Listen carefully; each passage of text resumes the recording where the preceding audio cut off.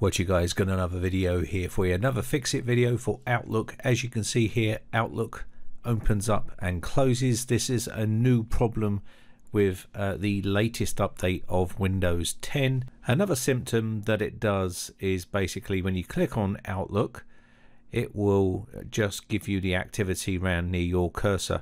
You'll see it there. It's trying to open and it's not opening at all. And I can try this again and it doesn't work. So you'll either get the open and closing immediately or you get the uh, activity but nothing opens. There's both of these uh, symptoms are to do with the latest update on Windows 10 2004. So how can you fix it? Well, first off we need to roll back to an older version so it will work until Microsoft release a fix. Now, Microsoft are pretty quick at releasing fixes for these types of things because these can cause major problems for businesses and people like that that use Outlook, and a lot of companies do use Outlook. So let's go ahead and open up uh, the command prompt with administrator privileges here by typing CMD in the search box and then clicking on Run as Administrator. So what we need to do is navigate to a certain particular folder and then roll back that update and I'll show you how to do it. So basically you just need to paste in change directory to and it will be program files, common files, Microsoft shared.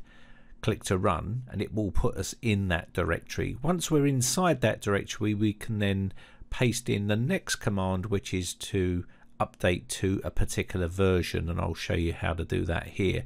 So you just need to put this in here and it will update to that particular version. It will go out and check for updates and it will install that update and roll it back so we can use an older version. And once that's done, uh, you should be able to open up your Outlook uh, program. So let's go ahead and close this off. And what we will do is we'll test it and see how that works. So we can close off uh, command prompt here. Let's go ahead and uh, click on Outlook and see what happens. There we go. We got the Outlook now working. So that's a little short quick fix video for you. Now once uh, Microsoft release an update for this uh, problem as well as all the other problems that comes with their latest version of Windows 10 you can see we've got uh, the version here which is using the older version you want to go into your update and security in your settings here and check for updates and then make sure you're using the latest version the reason why you've got to do this is because once you've rolled out to the very latest version of Windows 10, which is the very latest update, which is 2004, you're going to start to run into little minor bugs. Once you've updated your Windows operating system, you can then come back into your Microsoft uh, Office suite here and update uh, that software as well just to make sure you've got the very latest updates. Only do this once Microsoft have released the fix and you can check that for known issues on Windows 10 and you should once this is applied its updates you should be back up and running back to default settings.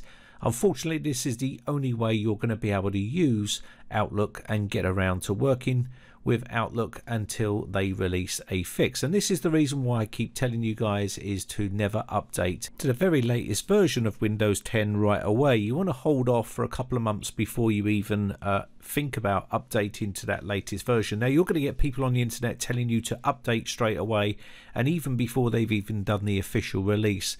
And the problem with that is you're going to run into problems like this. And this is just one of many problems that's happened uh, with the latest version of Windows 10. It seems that every version they release is always bugs and problems with it and let all the other guinea pigs download and install these updates early. Now I can tell you that Windows 10 1909 will receive updates for a good while longer yet and you will always receive the same updates as you would if you was on uh, Windows 10 2004. So you make your choice and update to whatever version you like but basically hold off for a little while and let all these other people uh, download these updates and install them and have the problems that you see here. Anyway, with that said, my name is Brian from briteccomputers.co.uk. Just a quick video. Thanks again for watching. Bye for now. Now, if you haven't subscribed yet, hit the red subscribe button and hit the bell notification button and click all to be notified when we upload new videos.